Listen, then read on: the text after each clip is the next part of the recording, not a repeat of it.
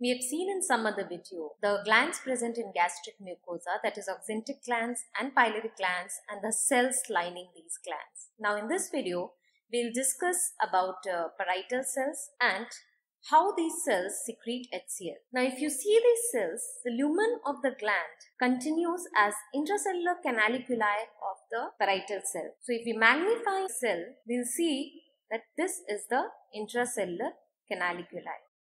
So top portion is showing the lumen of the gland and the bottom portion is showing the basolateral membrane and the interstitial space. Along the basolateral membrane, there is blood flow going on. Now here, two diagrams are shown where in diagram A, parietal cell is in resting state and in diagram B, parietal cell is in stimulated state. If you see the resting state, inside the cells are present some stored membranes known as tubulovesicles. So these are tubulovesicles.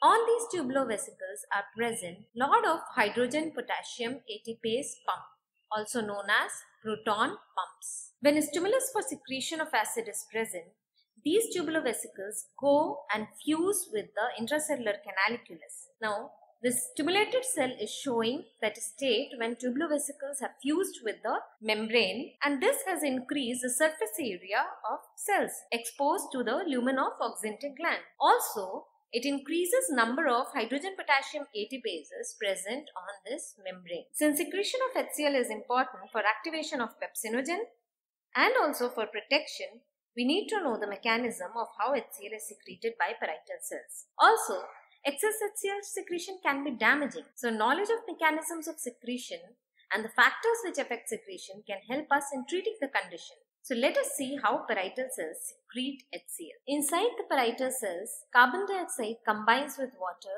in presence of an enzyme carbonic anhydrase to form H2CO3 which dissociates into H plus ions and bicarbonate ions. The hydrogen potassium ATPase which is present on the luminal membrane throws out this hydrogen into the lumen and brings in potassium from the lumen inside the cell. The bicarbonate ion moves to the interstitial side and ultimately enters the blood vessels in exchange of chloride ion. So hydrogen goes into the lumen by hydrogen potassium ATPase and bicarbonate goes into the blood vessel by bicarbonate chloride exchanger. This chloride now enters into the lumen by a chloride channel. This is how hydrogen ions and chloride ions enter into the lumen and thus form hydrochloric acid. If you see these concepts together, you can understand that as HCl secretion increases in the lumen, more and more bicarbonate is entering into the blood. Now this entering of bicarbonate into the blood increases the pH in the blood. The increase in pH whenever there is a stimulation of HCl secretion is known as alkaline tide.